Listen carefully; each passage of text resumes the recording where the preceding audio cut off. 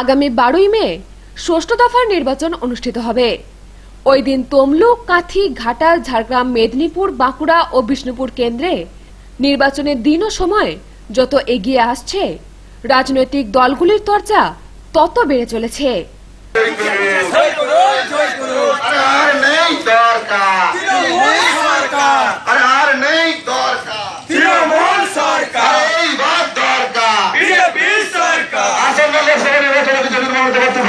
বিপুল ভোটে জয় করুন।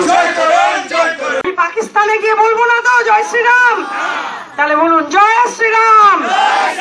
জয় জয় শ্রীরাম। জয় শ্রীরাম। পশ্চিম মেদিনীপুরে দলীয় প্রচারে এসে অভিনেতা তথা ঘাটাল লোকসভা কেন্দ্রের তৃণমূল কংগ্রেস প্রার্থী দীপক অধিকারী রোড শো করার সময় বলেছিলেন বিজেপি প্রার্থী ভারতী ঘোষ মূর্খ অশিক্ষিত। ওনার সম্বন্ধে কিছু বলার নেই। শিক্ষিত লোকরা যখন অশিক্ষিত কথা বলে, তার নাম ভারতী ঘোষ হয় এবার ঠিক তাই বলব। বৃহস্পতিবার পশ্চিম মেদিনীপুরে বিজেপি প্রার্থী ভারতী ঘোষ প্রচার করতে আসেন। তাকে দেবের কথা প্রসঙ্গে জিজ্ঞাসা করা হলে তিনি বলেন, আমার যে ডিগ্রি আছে, সেই ডিগ্রি দেবকে অর্জন করতে গেলে চারবার জন্ম নিতে হবে।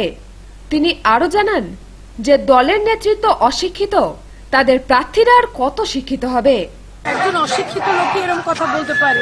আমি যেখানে যেখানে পড়াশুনো করে এসেছি, পৃথিবীর শ্রেষ্ঠ জায়গা London School of Economics Harvard University এবং Bramshill Institute of National Police Academy সেখানে দেবের যেতে গেলে আরও চারটে জন্ম নিয়ে আসলেও পারবে না। অশিক্ষিতদের দল, অশিক্ষিত একজন সংসদ, সুতরাং সম্পূর্ণরূপে অশিক্ষিত কথাবার্তাই তার থেকে আশা করা যায় আর কিছু আশা করা না যায় না। এই জন্য সংসদে গিয়েও ইংরেজিতে কথা বলেও ঘাটাল মাস্টার প্ল্যান পাশ করাতে পারিনি। ওই যে বললাম যে অনুব্রত মণ্ডল এই অশিক্ষিত দলের আরেকজন অশিক্ষিত মেম্বার যার শিক্ষা নেই সংস্কৃতি নেই যার আমাদের দেশের অতি পুরাতন সংস্কৃতি সম্বন্ধে কোনো শ্রদ্ধা নেই সেই দল নেতৃত্ব দিচ্ছে যার নেত্রী নিজে অশিক্ষিত। সুতরাং তার দল সম্বন্ধে আমি কি বলব? পশ্চিম মেদিনীপুর থেকে প্রসেনজিৎ রায়ের রিপোর্ট আনন্দ বার্তা